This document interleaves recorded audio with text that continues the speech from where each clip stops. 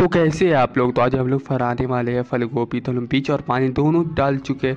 हम लोग देखते कितने दिनों में निकलने वाला है।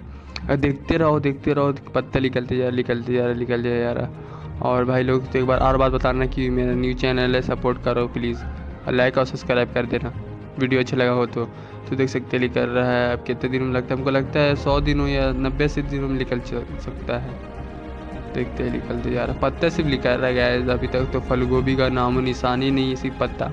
वो आए ओ दिखने लगा दिखने लगा। और लिखल चुका है हमारा फल गोभी तो अब मिलते हैं हमारे आधा बाय बाय